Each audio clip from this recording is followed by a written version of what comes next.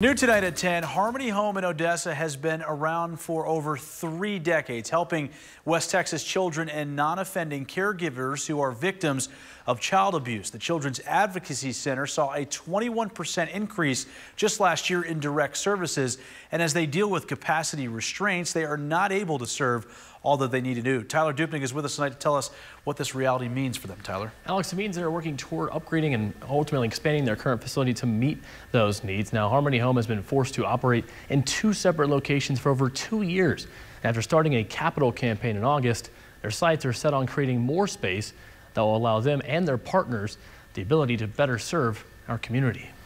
For Harmony Home, if not now, then when? The time is now to expand. And we're staying right here. We're just going to have uh, an addition added and uh, renovated uh, space where we're currently at so that we can meet the capacity of our kids.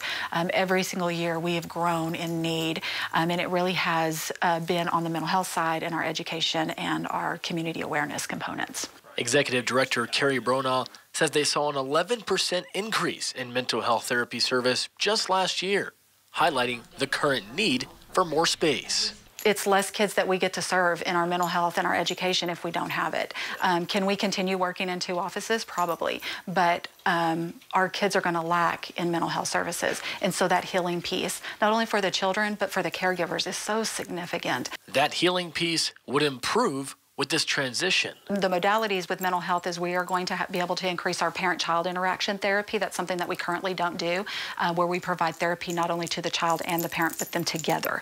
Um, we're going to be able to pro provide problematic sexual behavior for our, our children, um, and then our play and art therapy. So we will have space for an entire um, area that's large enough to enhance play therapy and enhance uh, art therapy, do group supports and things like that. Harmony Home works closely with law enforcement, CPS, the DA's office, and even MCH for some cases.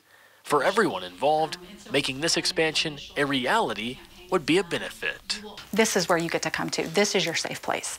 Um, and you don't have to go to other places. And try to be safe and try to feel safe.